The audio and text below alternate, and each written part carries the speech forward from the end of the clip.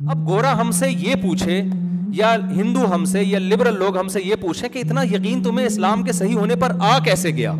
देखो, अगर इस्लाम का ये दावा सच्चा है ना कि इस्लाम के अलावा किसी और कल्चर को फॉलो करोगे, जहन्नम की आग में डालूँगा।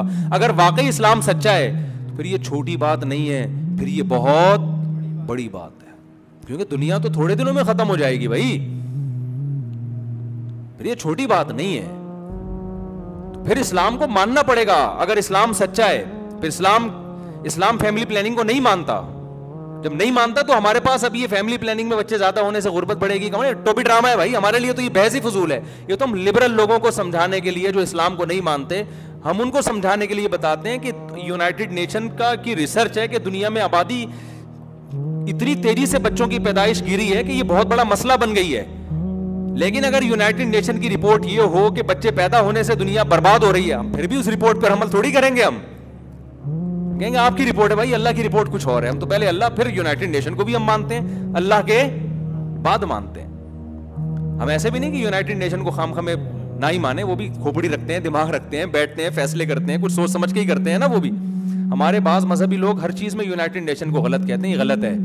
वो कहते हैं यहूदियों की, और हर चीज़ ऐसा नहीं है। हम यूनाइटेड नेशन में जब तक हमारे ऊपर ताल्लुकात नहीं थे ना, लोग, हम भी फेंकते रहते थे बैठ के कि पोलियो की वैक्सीनेशन, ये यूनाइटेड नेशन वालों ने ठुकवा रहे हैं हमारे स्कूलों में, ये असल में बच्चे रुकवाने के लिए। जब हमारे कुछ साइंसदानों से रबते हुए, जिनकी बड़ी बड़ी दाढ़ियाँ हैं यूनाइटेड नेशन के मेंबर रह चुके हैं वो लोग डब्ल्यू एच ओ में डॉक्टर्स के हैसियत से काम कर रहे हैं, उनसे सलाम, उन्होंने कहा, भाई, ऐसा कुछ भी नहीं है। इस पर किसी एक मुल्क की इजारादारी है नहीं। ये दुनिया के बड़े बड़े मुल्क हैं जिनकी आपस में जंगे हैं। तो यूनाइटेड नेशन का जब कोई लॉ आता है तो वो उनकी नीयत इंसानियत का भला ही होती है। वो अलग बात है कि वही की तालीमत नहीं है तो इंसान तो एक हद तक सोच सकता है ना, बाज दफ़ा इंसानियत का बेड़ा गरक हो रहा होता है, ठीक है ना? लेकिन उनकी नीयत गलत नहीं होती, वल्लाह आलम। खैर तो अगर इस्लाम बरहक है तो भाई इस्लाम ने जो कहा, जिना पे आग में जाना पड़ेगा। इस्लाम ने कहा कि गुर्बत के खौफ से नस्ल नहीं रोक सकते आप। बच्चे ज़्यादा होंगे तो खाएँगे कहाँ से? इस नज़रिए से आपको नस्ल रोकने की इजाज़त नहीं है। वगैरह वगैरह, और बहुत सारे नजरियात। तो अब इस्लाम अगर सच्चा है तो मेरे पास इसके अलावा कोई ऑप्शन है नहीं। फिर तो ये बड़ी खतरनाक बातें कर रहा है कि आग में डालूँगा और कामयाबियाँ भी अल्लाह कहते हैं सत्तर हूरें मिलेंगी। हदीस में आता है जिसको गुस्सा आया ना हक गुस्सा जारी कर सकता था, ये सोच के पी गया कि अल्लाह राज़ी होगा। जैसे बाप पे आ रहा है गुस्सा, बीवी पे आ रहा है, माँ पे आ रहा है तो जारी करना सवाब है, पीना सवाब है। पीना सवाब है ना? तो आप अगर गुस्सा पी लेंगे, बहुत से माहिर नफ्सियात क्या कहते हैं एक्चुअली जब आप गुस्सा पीते हैं तो एक्चुअली वो होता ही है कि उससे आपकी बॉडी एक यूँ करती है, वो घुट जाते हैं, वगैरह वगैरह। वो तो टर्म तो मुझे नहीं आती। इस्लाम कहता है, भाड़ में जाए माहिर नफ्सियात, पी लो, अल्लाह आखिरत में इसका अजर देगा। समझ में आ रही है बात? माहिर नफ्सियात ऐसे कहते भी नहीं, लेकिन अगर कोई कह रहा हो माहिर नफ्सियात भी बाज़ बयान सुनने तो कह रहे यार, हमारी बात लगाते रहते हो बिला वजह। तो वो जो भी कहते रहे बिलफर्ज अगर किसी को मशवरा दे रहे हो कि पीने से एक्चुअली ये होता है और निकाल दो तो इंसान ठंडा हो जाता है, फिर लोग निकालने के लिए, हर आदमी का निकालने का स्टाइल ये नहीं देख रहे होते कि गुस्सा निकालेगा, ये तो ठंडा हो जाएगा, अगला गर्म हो जाएगा फिर। कितने लोगों ने अपने डिप्रेशन के इलाज में दूसरों को डिप्रेशन का मरीज़ बना दिया है? जैसे एक माहिर नफ्सियात की तकरीर थी, मैंने खुद सुनी, बड़े मशहूर डॉक्टर है, नाम नहीं लूँगा। उन्होंने, उनसे किसी ने पूछा, दूसरी शादी के नतीजे में क्या होता है? उसने फिर बड़ी एक मंतिक कि एक्चुअली जब आप सेकंड मैरिज करते हैं तो फ़र्स्ट वाइफ पे आपके डिप्रेशन की कैफियत तारी होती है। उसका आप ट्रस्ट आप पे ख़त्म हो जाता है। आजकल एक बड़ा मसला ये है कि छोटी सी बात को इस्तेलाहात के ज़रिए ऐसे समझाया जाता है जैसे अगला कहता है, यार को बहुत ही बड़ी पहुँची हुई फ़िल्म है। आज मैं सुन रहा था उसके फ़जाइल ना, कोई न्यूट्रेश, न्यूट्रेशनिस्ट हो तो क्या होते हैं यार वो? न्यूट्रिशन होते हैं ना? वो जो खिजाओं के फजाइल बयान कर रहे होते हैं बहुत इनमें बहुत से हमारे मुल्क में बड़े बड़े फेंकू भी होते हैं। ये खा लो तो ये हो जाएगा। तो वो सुहाजना के फजाइल बयान कर रहे थे। ये सुहाजना नहीं है जो, ये जो दरख्त है, बड़ा मशहूर हमारे यहाँ भी लगा हुआ है। मैंने छह दरख्त लगाया वो तकरीरें सुन के। लेकिन मुझे शुरू से लग रहा था, यार ये कोई फेंकू है, कोई बहुत बड़ा ना। सुहाजना के पत्ते की आप वीडियो देखें, आपको आप कहोगे, यार, दुनिया में कुछ खाने की ज़रूरत नहीं है। उन पत्तों के ऐसे फजाइल, सुने आप लोगों ने? सुहाजना में विटामिन ए भी है तो विटामिन बी भी है तो विटामिन सी भी है तो विटामिन डी भी है, और इसमें प्रोटीन भी है, और इसमें कार्ब भी है। शुगर ज़्यादा है तो कम कर देगी, कम है तो बढ़ा देगी, मोटों को कम करेगी, कम को मोटा कर देगी। ओ भाई इतनी सत्तर बीमारियाँ, हज़ार बीमारियाँ, इतनी बीमारियों का सुहाजना में मुझे वो अंदाज़ा हो गया, भाई ये ये बहुत, पहले मैंने एक सुना ना सुहाजना के फजाइल, मैंने कहा, यार, बड़ा अच्छा दरख्त लगा लेना चाहिए घर में, बस। उसके बाद फिर इतने फजाइल, मैंने कहा, भाई, इसकी कोई वैल्यू नहीं है। थोड़ा बहुत होगा, हर चीज़, नीम के पत्तों के भी कुछ ना कुछ फजाइल है, खून साफ़ करता है। कोई भी यूट्यूब पे देखो ना फला चीज़ बहुत ही बेनिफिशियल है। इसके बेनिफिट्स बहुत ज़्यादा हैं। इसका मतलब ये झूठ बोल रहा है। अल्लाह ने कोई ऐसी चीज़ नहीं बनाई। अबे सुबह सुबह उठ के पराठे खाओ, अंडा खाओ, चाय पियो, ऑफ़िस जाओ। कारमीना खा लो, दो गोली अगर वो हजम नहीं हो रहा। आओ अपना आराम से भिंडी खाओ यार। भिंडी के कभी फजाइल सुने आपने? मुझे भिंडी ना मिले, मैं तो मर जाऊँ। इसका मतलब भिंडी भिंडी ऐसी चीज़ है। भिंडी खाई थी मुफ्ती तारिक मसूद ने, बच गए। भाई, वो भिंडी का आदि है यार। उसको भिंडी पसंद है। हर चीज़ पे रिपोर्टें भी मिल जाएँगी, इन चीज़ों से कतन मुतासिर मत हो। फिर मेरे बहुत बड़े डॉक्टर से रहा हुआ। मैंने कहा, ये क्या है? सुहाजना ऐसा है, इसको सोने के पत्ते हैं क्या ये? उन्होंने कहा, भाई, इतनी बड़ी कुछ भी नहीं है ये। है, थोड़े बहुत फ़ायदा है, अच्छी अच्छी चीज़ है। इतना नहीं है जितना लोगों ने बना लिया है। इंजीर के फ़ायदे पढ़ना शुरू करो, आदमी सब कुछ घर से नहीं बच्चे फेंक देता है घर से बाहर, यार। निकालो इसको, इंजीर आ घर में। हकीकत है? यार सब कुछ निकले, घर में सिर्फ़ इंजीर का पौधा होगा। हर चीज़ एक लिमिट है भाई, इंसान है। अल्लाह ने बड़ी बॉडी में लचक रखी हुई है, और आपकी बॉडी को जो ज़रूरत होती है ना, पराठों से भी वो निकाल लेगी वो। समझ रहे हैं ना? बाकी सब उसने वैसी वेस्टेज बना के निकाल देना है। इतना नहीं इन चीज़ों को मुसलत सेहत का तो बहुत ख्याल करना चाहिए, लेकिन ये जो यूट्यूबर्स है ना, ये मिलेगा आपको, ये मिलेगा। जब सत्तर बीमारियों की शिफा नहीं होगी। दो तीन का कह दिया तो ठीक है थोड़ा बहुत। फिर भी डॉक्टर को बता दो कि हज़रत दो तीन है कहेगा खा लो ट्राई करने में पाँच सौ रुपए में अगर हूर का ऑप्शन मिल रहा है आपको। ठीक है ना? ट्राई कर लेते हैं शायद मिल जाए क्या ख्याल है? यार कहाँ से कहाँ चला गया? मैं बात पता नहीं किया। मैं बस वाकई चा, चार पाँच मिनट में ना बात खत्म कर रहा हूँ। मेरे मेहमान भी बैठे हुए भी गुस्सा हो रहे होंगे। तो बात ये कहाँ से कहाँ इधर को किधर को आ गई है ये? नहीं इस्लाम के अलावा तो ऑप्शन नहीं है। ये ये ये, ये बात यहाँ अबे नहीं यार। खैर अच्छा इसी में एक और बात आई है जो मौजू से हटकर है। आजकल नाश्ते के बड़े फजाइल बयान किए जा रहे हैं यूट्यूब पे। एक साहब ने भी आज मैंने क्लिप देखा कि 80 फ़ीसद हमारे मुल्क में लोग नाश्ता नहीं करते। नाश्ता हमारी बॉडी के लिए इतना ज़रूरी। मैंने नीचे कमेंट कर दिए मैंने कहा, बात ही झूठ से शुरू की है। 80 फ़ीसद लोग नाश्ता नहीं करते, कौम छोड़ सकती है ये नाश्ता? निन्यानवे फ़ीसद लोग फोड़ते हैं नाश्ता। करना तो करने का लफ्ज गलत है उनके लिए।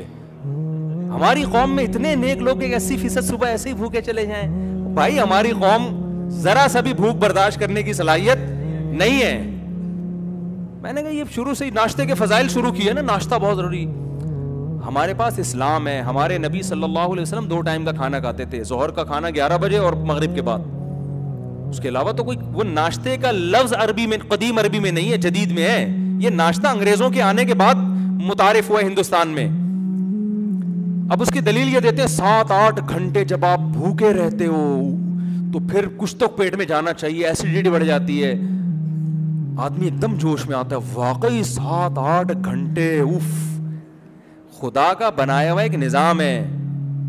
देखो नेचर का कभी मुकाबला मत करो, चाहे डॉक्टर कैसी बातें कर रहा हो नेचर गड़बड़ नहीं करती। जब आपकी बॉडी को खुराक की ज़रूरत होती है, खुदा की कसम डॉक्टर नहीं बताएगा, आपकी नेचर बताएगी आपको। खाना कितना खाना है और कब खाना है, ये डॉक्टरों का फ़ील्ड नहीं है, ये ये आपकी बॉडी खुद बताएगी। भूख लगेगी तो खा लो, नहीं लगेगी। सुबह आप उठे, शरीर भूख लग रही है। सारी दुनिया के डॉक्टर का नाश्ता नहीं करना चाहिए। आप बोले, भाड़ में जाए, मेरे मुझे भूख लग रही है, मैं करूँगा नाश्ता। और सुबह आप उठे, भूख नहीं लग रही, आपको आपकी बॉडी में एनर्जी है। होती है आमतौर पर सुबह बॉडी में एनर्जी फिर सारी दुनिया के डॉक्टरों की रिपोर्ट हो नाश्ता ज़रूरी है। आप बोले रिपोर्ट अपने पास रखो, मैं नाश्ता। क्योंकि बगैर भूख के खाना, ये, इसका मतलब बॉडी बॉडी धोखा दे रही है आपको। बॉडी धोखा नहीं देती आपको।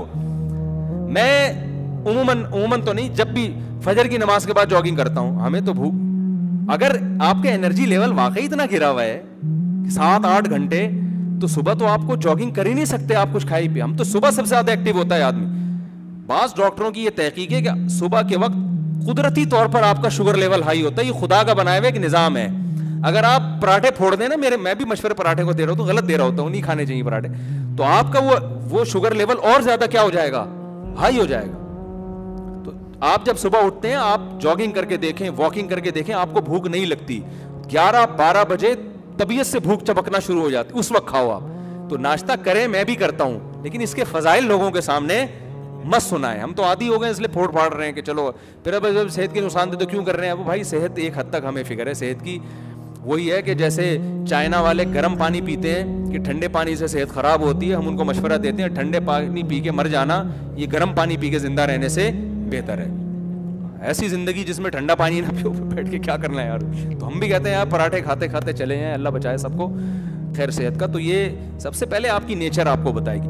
अब जल्दी से सच्ची मुच्ची में दो मिनट में समेट रहा हूँ, इनको भी बहुत गुस्सा आ रहा है। सच्ची मुच्ची के जो बात चल रही थी, पहले मुझे वो बता दें, ताकि मैं बयान को समेट के ख़त्म करूँ।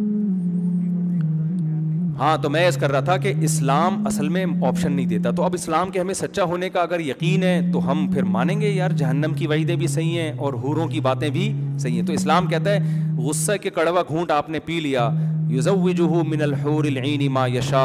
अल्लाह ताला, अल्लाह के नबी ने फरमाया, बुखारी मुस्लिम की हदीस, जो गुस्सा जारी कर सकता था, अल्लाह की खातिर पी जाए।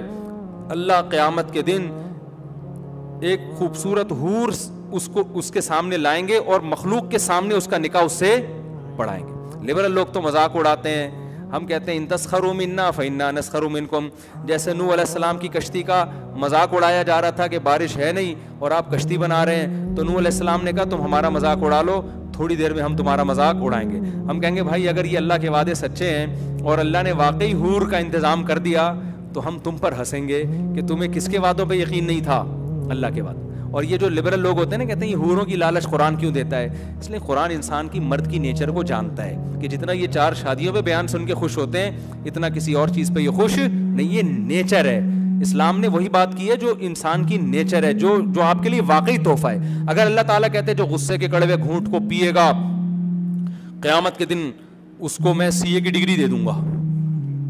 मैंने क्या करना है भाई? क़यामत के दिन उस डिग्री का।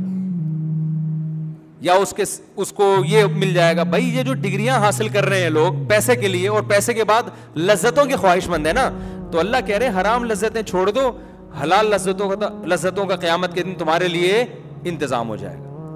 तो हमें तो बड़ी खुशी होगी, भाई, अगर हम गुस्सा पी लें और अल्लाह किसी हूर से हमारी शादी करा दे, हमें तो बड़ी खुशी होगी और हम इस खुशी का इजहार करने में हमें कोई जिल्लत महसूस नहीं होती, क्योंकि मुनाफिक है वो आदमी, दिल में कुछ और हो, जबान पे कुछ और हो। और खुशी इन कम वक्तों को हमसे ज़्यादा होती है क्योंकि ये ठरगी ज़्यादा होते हैं ये। इसकी अलामत है कि ये कोई ये जिना करते हैं ये नाइट क्लबों में क्यों तुम लड़कियों के लिए अगर उन नाइट क्लबों से लड़कियों को भगा दिए वसीम भाई सत्तार भाई को लाके बिठा दो नाइट क्लबों में। तुम जा, वो जाएँगे ये लिबरल लोग नाइट क्लब में? एक साहब मेरे पास है कि उलमा इस्लामी फ़िल्में क्यों नहीं बनाते?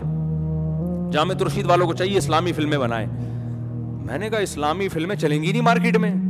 या तो एक हिस्ट्री होती है ना तारीखी, कह रहे, नहीं, इस्लामी, मैंने कहा, इस्लामी फ़िल्म में क्या हीरोइन को दुपट्टा पहनाएँगे, उसमें हम बुरका पहनाएँगे और तमीज से वो चलेगी तो कौन देखेगा उसको? क्या ख्याल है भाई? तो ये जितने लिबरल लोग हैं ना, एक दफ़ा मैंने एक शागिर से पूछा, वो हमारा एक शागिर था, लियारी का, बड़ा होशियार। मैंने कहा, फ़र्ज़ कर लो, इस्लामी फ़िल्में बनना शुरू बनना शुरू हो गई तो जरा इस्लामी नाम बताओ फ़िल्मों के। उसने कहा, उस्ताद जी, पहली फ़िल्म आएगी, हम जक़ात दे चुके सनम। उसने कहा, फ़िल्म आएगी, हम जक़ात दे चुके सनम। दूसरी फ़िल्म आएगी, जिहाद तो होना ही था। मैंने कहा, और फिर मज़ाक की महफिल थी। हमने कहा अच्छा अगर मुतहदा उस वक्त मुतहदा का बड़ा ज़ोर था ना एमकेएम का। मैंने कहा एमकेएम वाले फ़िल्म बनाए, उसका नाम उसने कहा, फ़िल्म आएगी नाइन ज़ीरो से नाइन ज़ीरो तक। तो तलबा बड़े होशियार होते हैं। जब उसने कहा ना, फ़िल्म आएगी, हम जक़ात दे चुके सनम। वो भाई, जो लोग हंसे। लियारी का था, बलोच नहीं होते लियारी के घूंगरियाले बाल वाले बड़ा होशियार तालीम था। खैर तो बात असल में ये है, जो आखिरी बात, कि हमें इस्लाम के बरख होने का यकीन बहुत है। वजह उसकी है कि जैसे सहाबा ने बहुत ज़्यादा दलाइल देखे थे ना नबी के सच्चे होने के, आप कह सकते हैं, हमने तो वो दलाइल देखे नहीं, हमने उससे ज़्यादा देख लिए हैं। हमने कुछ वो मज़ीद दलाइल देख लिए हैं, जो सहाबा ने नहीं देखे थे। कुरान ने कहा सनूरी हिम आयातिना फिल आफाक। हम इस्लाम के बरहक होने की निशानियाँ सनूरी हिम दिखाते रहेंगे। जितनी निशानियाँ आज ये लोग देख रहे हैं ना, कुर्ब क़यामत, जैसे जैसे क़यामत करीब आती रहेगी, हम ये निशानियों पे निशानियाँ मजीद इनको दिखाते रहेंगे। कुछ निशानियाँ इस्लाम की ऐसी हैं बरहक होने की जो सहाबा ने नहीं देखी थी, वो आज हम अपनी आँखों से देख रहे हैं। आप कह सकते हैं, मुफ्ती साहब, वो कौन सी निशानी है भाई? आपने कोई पहाड़ को से ऊँटनी निकलते हुए देख ली है क्या? है भाई? या आपने किसी समंदर को दो टुकड़े होते हुए देख लिया है? बहुत सारी निशानियाँ हैं। सरे दस, दो निशानियाँ तो मैं आपको बताता हूँ। एक निशानी वो जिसका कोई साइंसी लॉजिक नहीं बनती, जिसको मोजे से ताबीर किया जाता है। और एक निशानी वो जिसका नबी की तालीमात से ताल्लुक है। एक शख्स जो उम्मती हो, ना लिखना जानते हो, ना पढ़ना जानते हो, उन्होंने जो सिस्टम बना के दिया ना, इंसानियत की निजात का, खुदा की कसम, आप जितने सिस्टम आज पढ़ लो, कोई सिस्टम इस्लामी निज़ाम के मुकाबले में खड़े होने के लिए तैयार नहीं है। दो और दो, चार की तरह इस्लाम की बरतरी हर हर हुक्म पे वाजे हो रही होती है। विरासत का निज़ाम निका तलाक का निज़ाम, सजाओं का निज़ाम अच्छाई और बुराई की जो डेफिनेशन इस्लाम करता है, एक एक चीज़, आप इस्लाम के अलावा अगर किसी और चीज़ को फॉलो करते हो, कयामत तक आप अच्छाई की डेफिनेशन ही बयान नहीं कर सकते कि अच्छी की डेफिनेशन क्या है। समझ में आ रही है बात? अच्छाई की डेफिनेशन क्या है? सारी दुनिया के सारे माहरीन मिलके बैठ जाए ना कि हम अच्छा बनना चाहते हैं। सबसे पहले सवाल होगा, अच्छे की डेफिनेशन क्या है? कोई एक माहिर कोई दो आदमी भी मुत्तफिक नहीं हो सकेंगे कि इट इज़ कॉल्ड अच्छा तो ऐसे कल्चर को फॉलो करना जिसमें आज तक अच्छे का पता ही नहीं कि अच्छा अच्छा कहते किसको है। तो मैं वहाँ जाके सर क्यों मारूं अपना जाके भाई? और जिन लोगों ने अच्छे के, जिन मजहबों ने अच्छे को डिफाइन किया कि इट इज़ कॉल्ड अच्छा तो वो डेफिनेशन से पता चलता है कि जो सबसे गंदा था इट इज़ कॉल्ड अच्छा। आप मैले को कह रहे हो साफ़ और साफ़ को कह रहे हो, मैला। जिसके मुँह से बदबू आ रही है स्मेल आ रही है, कहते हैं नीट क्लीन की डेफिनेशन ये है। जो सबसे ज़्यादा बदतहजीब है, तहजीब की डेफिनेशन उस पर सबसे पूरी उतर रही है। ये तो एक अलग टॉपिक है, इस पर मैं कई बार बयान कर चुका हूँ कि कितना है ही नहीं भाई, इस्लाम के अलावा कोई ऑप्शन ही नहीं है। आप पैगंबर का विरासत का निज़ाम उठा के देख लो यार। आज तक अमेरिका ऐसा कानून नहीं वजह कर सका कि मरने के बाद किसको कितना हिस्सा मिलना चाहिए। उनके यहाँ क्या लॉ है? भाई जिसको दे दो तो जिसको तो कुत्ते को दे दो फिर आप। ये, ये कानून है इसको लॉ कहते हैं यार। इंसान की विरासत किसको मिल रही है? बेटे को नहीं मिल रही बीवी को नहीं मिल रही किसको मिल रही है? कुत्ते को। यार ये कोई कानून है मुझे बताओ। शराब लीगल है ये कोई कानून है? शराब पीने वाला बुरा ही नहीं है उस सोसाइटी में। अगर बुरा होता तो इलीगल होती ना। भाई बुराई तो इलीगल होती। है शराब बुरी नहीं है, जेना बुरा नहीं है होमोसेक्सुअलिटी बुरी नहीं है, वसीम वसीम से शादी कर रहा है, सत्तार गफ्फार से शादी कर रहा है। यानी आप जवान हुए, आपके अब्बा आपके लिए बहू तलाश कर रहे हैं तो पूछ रहे हैं कि मेल बहू चाहिए, बहू लाऊं या फीमेल बेटा, तुम किसमें दिलचस्पी रखते हो? ये हो जाएगा अभी चालीस पचास साल के बाद, अभी तो थोड़ा वहाँ भी एहतजाज हो रहा है, पर चालीस पचास साल में अभी तो हम इसको रो रहे हैं कि अब्बा ही नहीं होते ठीक है ना?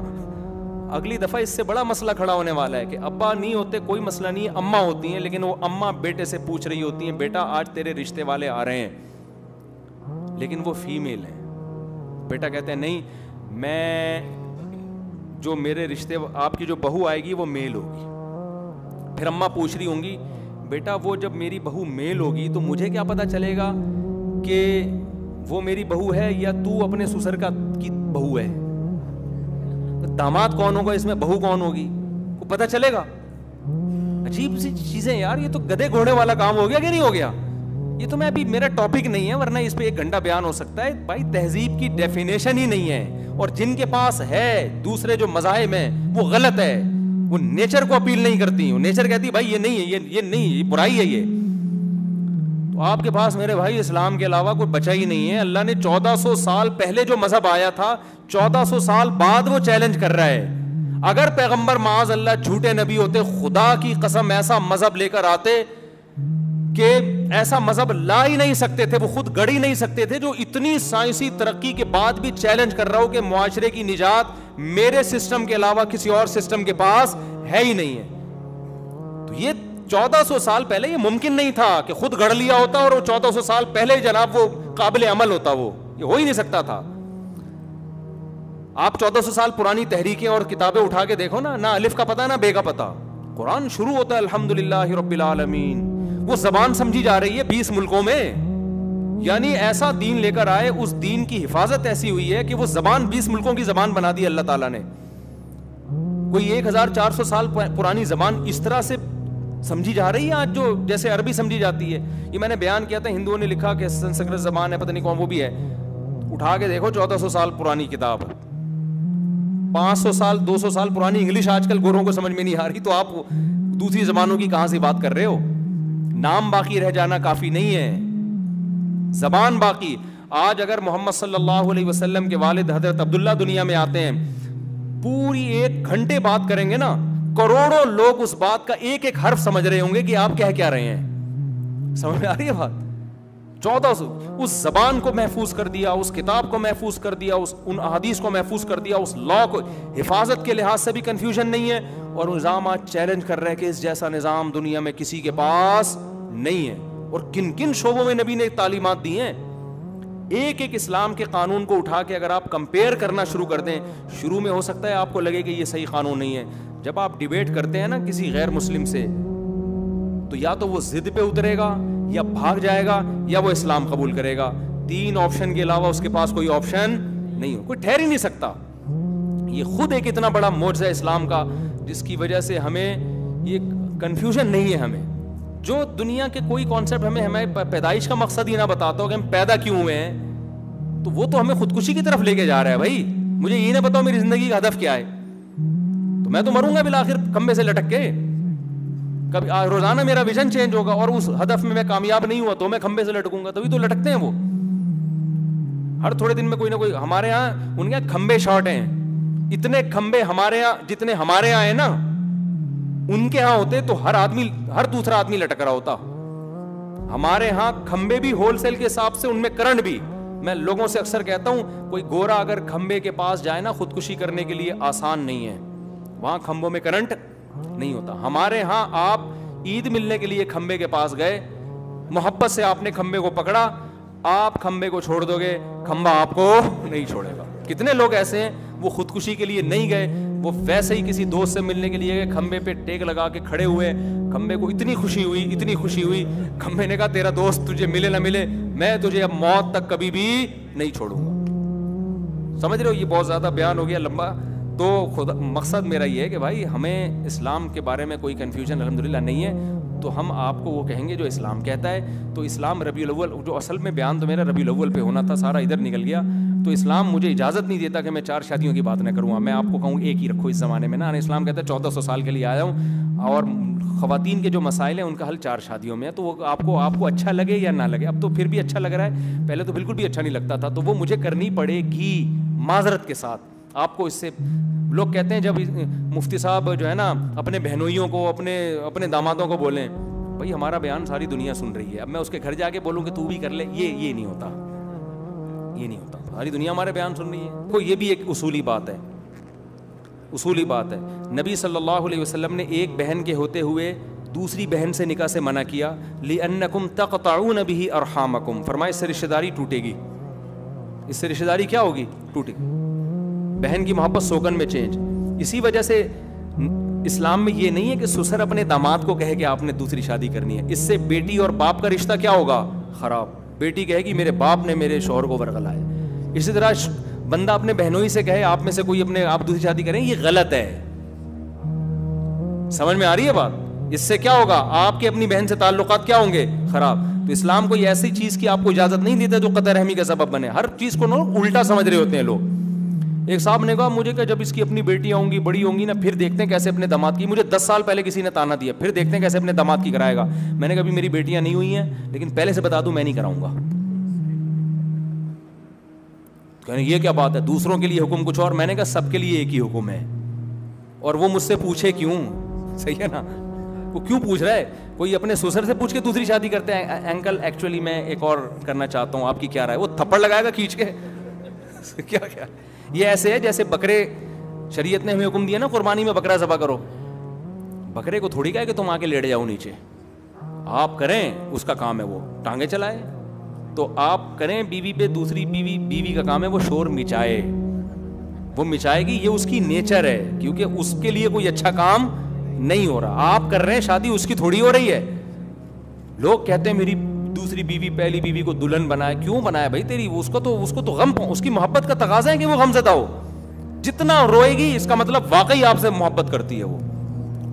आपने एक बड़े फ़ायदे की खातिर छोटे नुकसान को बर्दाश्त करना है कि यार, दूसरी भी औरतें हैं, बहुत सारी खातन हैं, उन बेचारियों को क्या होगा? वो जो मैं बता रहा था ना, माहिर नफ्सियात ने कहा, वो सारी बात वहाँ से चेंज हो गई थी कि वो दूसरी शादी से एक्चुअली ये होता है एक्चुअली वो मैं उस पर खरबूजे पे बता रहा था, खरबूजे के फ़जाइल में ना इतनी खातून ने पूरी रिपोर्ट पेश की अपनी कि आदमी कहता है पता नहीं खरबूजे में क्या है? तो वो इंग्लिश में इंग्लिश में ना बड़ा इधर उधर हाँ कुछ भी नहीं है खरबूजा खाओ ख़त्म हो जाता है खरबूजा थोड़ी देर में पेट में जाके।